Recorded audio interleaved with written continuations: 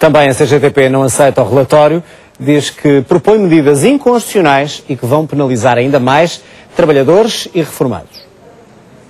Compete aos sindicatos a responsabilidade da negociação da contratação coletiva e não a qualquer outra organização.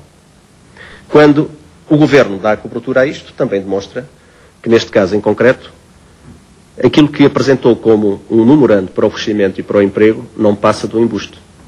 Porque todas estas propostas, que constam, ou grande parte delas, que constam do relatório da OCDE, não trazem nem crescimento, nem emprego, nem igualdade, nem justiça na distribuição do rendimento. Apenas e só acentuam tudo aquilo que nós já sabemos. Empobrecimento,